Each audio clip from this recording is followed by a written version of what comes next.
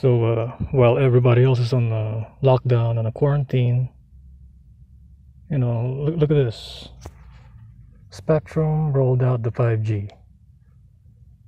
Now they've had this for a while now, you know, ever since the beginning of this quote unquote COVID 19 thing. Okay, you tell me, you tell me your theories, you tell me your hypothesis in the comment section. Peace out.